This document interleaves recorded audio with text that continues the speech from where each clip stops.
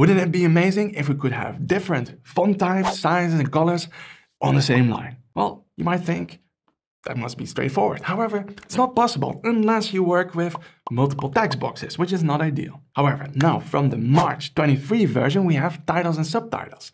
And with a little trick, we can achieve exactly that. So in this video, I'm going to show you how.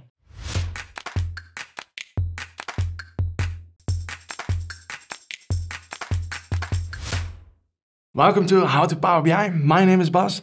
And if this is the very first time for you visiting this channel, then make sure to hit that subscribe button to stay up to date on all of my videos in which I share everything I know about Power BI. Now, let's have a look at the titles and subtitles feature, which we can use to get different font types, sizes, and colors on the same line. Now, for this, you need to be on the March 23 version, and then you have access to the titles and subtitles feature in the formatting. Now this feature you could for example use to integrate KPIs in a very elegant way into your visualizations without having to need extra text boxes, which I show in this video over here. However, what we are going to do now is to build the following example, where I have a little table right next to a line chart. And what I want to achieve is that I can just click on a certain product, and then all of that product information shows here in the top right corner. And you see that we have still a normal title here on the left hand side. And this is on the same height. Now, how to achieve that? How can we have different fonts, different font colors or types on same line in the visual without using extra text boxes. Okay, now let's get started. All right, here I have that visualization without that dynamic title integrated. So that's going to be our starting point. Let's select it and let's go to the formatting pane. Now I'm in the new version, so I have to click there on formatting, more options, and this brings us to the formatting pane here on the right hand side. Maybe it's a small little trick. At the beginning, I just always go now to view, toggle all of them open, and then we have all of these buttons here on the right hand side, which then lets me switch between all of the main panels. All right, good. So now that we have here the formatting options, you see we have here title, under which we find title and subtitle. Now, here for the title, uh, we can, for example, say, this is my total sales. Good. And then for the subtitle, let's turn it on and see we have now a nice little subtitle underneath it. Now, that subtitle I want to make dynamic so that it shows information about the selected product. Now, for that, we need to make use of conditional formatting. There's a little FX button. So let's write a measure that returns the name of the selected product, the category, a subcategory, and the manufacturer. Now, this is fairly easy. Huh? So we go over here to the data panel, and then here I'm going to add a new measure. Now let's give this measure the name title product info. Okay, now here we can work with variables. So we can say, okay, we have a variable for the product name. And to get the product name, well, I only want to show it when we have one selected. So selected value only returns value when there's one selected. And this is going to be the product name that I want to see. All right. Then we are going to do the same thing for the subcategory. So let's say we have subcategory.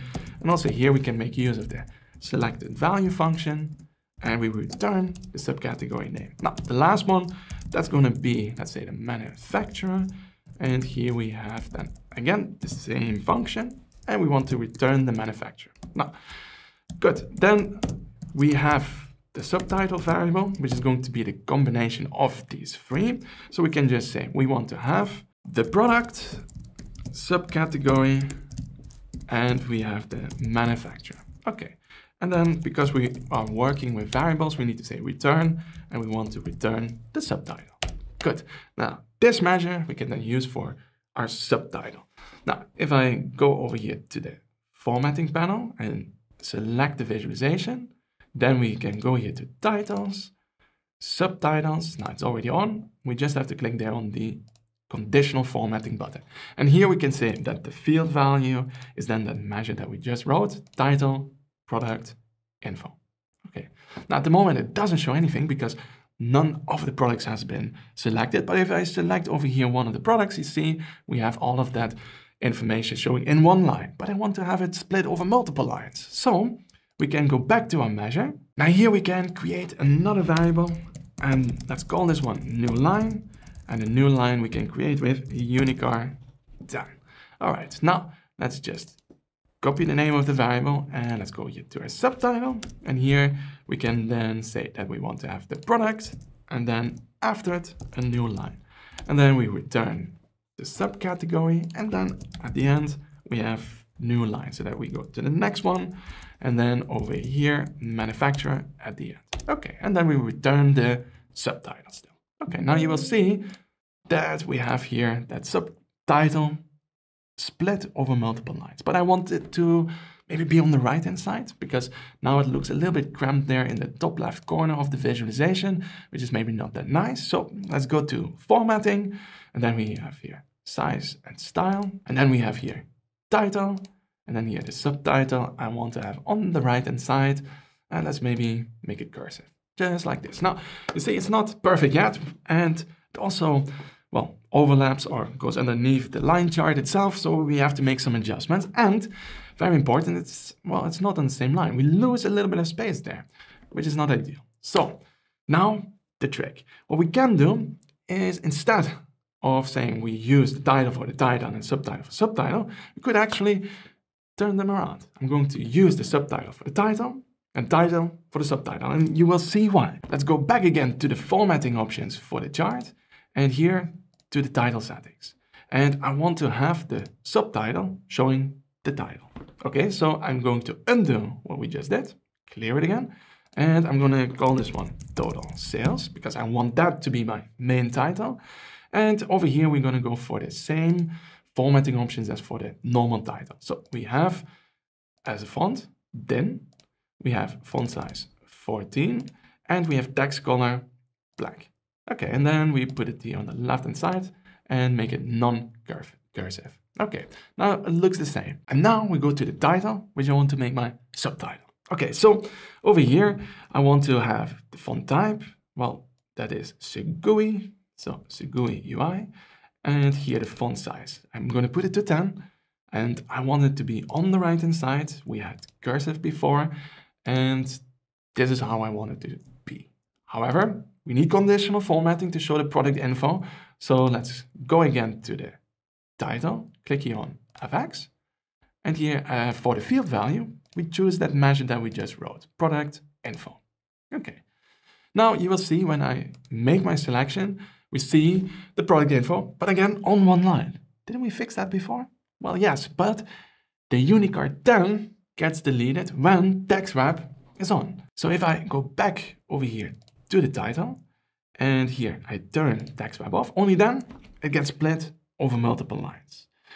And now the interesting part, because you see we have the product information in the top right corner of the visualization, and here somewhere in the middle we have total sales but I want it to be on the same height, on the same level. Now, to get it at the same level, what we do is we go back to a measure.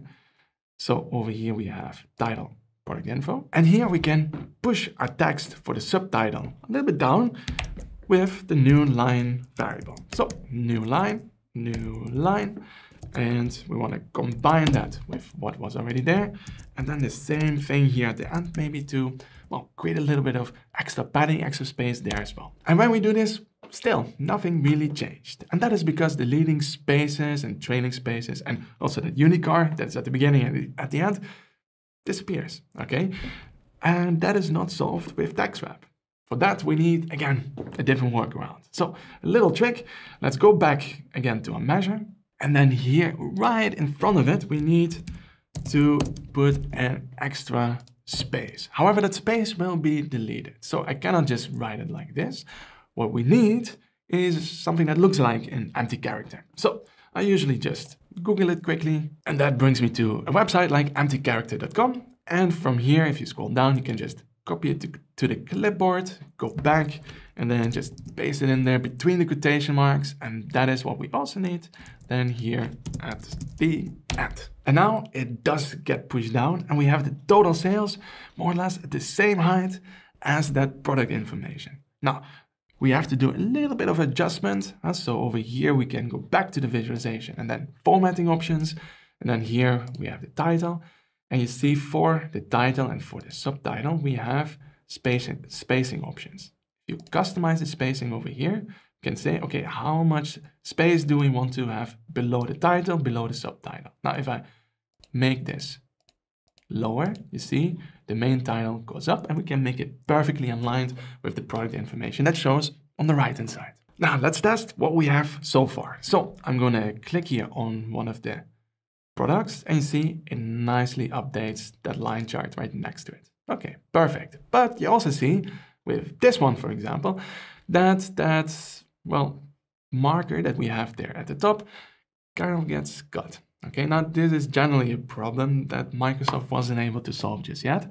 However, what we can do is also here use a little bit of conditional formatting to make sure that that doesn't happen and also to make sure that uh, there's no line that goes underneath or over our subtitle there, right? So we kind of want to avoid that as well. And maybe let's turn the grid lines off. Uh, so maybe you don't like it that the grid lines go all the way to there. So I'm gonna go over here to grid lines. Let's turn them off first. Okay, now, then we need to have a measure that figures out, okay, what is the maximum there? And on that basis, maybe uh, add a little bit of extra padding there at the top. So I'm gonna go over here, add a new measure, and let's call this one y-axis max.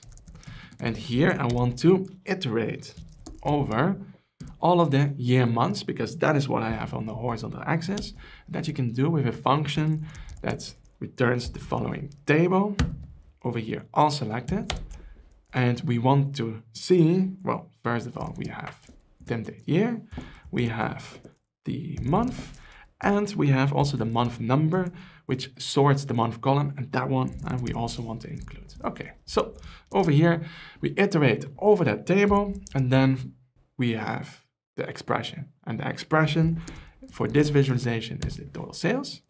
Okay, now here we don't want to take the sum, we want to have the maximum. Okay, so what does the measure do? It iterates over a little table that gets returned by all selected. All selected gets rid of any filters from the visualization itself, but keeps the one from outside of the visualization, calculates for each year month the total sales, and of these aggregated values, it returns the maximum. That's it. All right, now, then we need to say, okay, how do we want to adjust then that y-axis?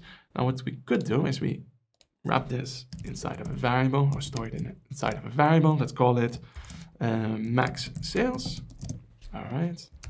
And then over here, I have my var y-axis max, which is going to be equal to, well, the max sales, but we want to multiply it maybe with 1.3, uh, which stretches the y-axis a little bit further. Okay, and that's it. So over here, that is what I want to return, that y-axis max. And that is then the measure that we can use to set the maximum for the y-axis. Okay, now that is a formatting option. So let's go to the visualization, formatting, y-axis. Now over here we have the minimum. Let's put the minimum to zero and the maximum we return with conditional formatting. So field value, and then here matrix, then here y-axis max. And you see the visualization, the plot area gets pushed down a little bit, right? We have more space here at the top, which makes it look maybe a little bit cleaner, as you can see. All right. Okay, so now that we have solved that problem as well, it's time for the finishing touches, which is just, well, the padding over here on the right-hand side, on the left-hand side. So let me take the visualization. Let's go to size and style. And then here we have padding. And here I want to have on the right hand side and left hand side 20 pixels. So over here we have 20, then over here we have 20, and over here we have 20. Now, why don't I want to have any padding at the top? Because, well, over here there is already a little bit of padding, even if we set it to zero. And that is because well, the title is there at the top right? Remember what we did? We took the title, which is what shows here now in the top right corner, okay? We aligned it to the right, and then we push it down. And therefore, there's what looks like empty space, but it's basically placeholder for the title, which we use now as padding. And that is already the whole trick. We have now different font types, sizes, and colors on the same line. Now, of course, a little bit of a workaround, and it would be better if you could set the color like in Excel with a formatting string. So you could use maybe the format function, and then inside of that formatting string, also determine the color. That would be nice. And if you would take that a step further, maybe even the font size and font type. All right, now let me know your thoughts. And if you have any questions, put them in the comment section below.